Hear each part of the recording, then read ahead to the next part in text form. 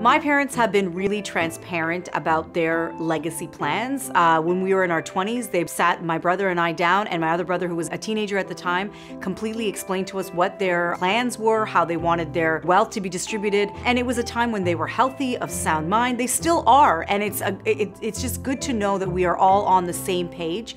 And even though my kids are really young right now, six and two years old, I already know that as they get older, when the time is right, that I plan on dealing with my legacy plans in the exact same way.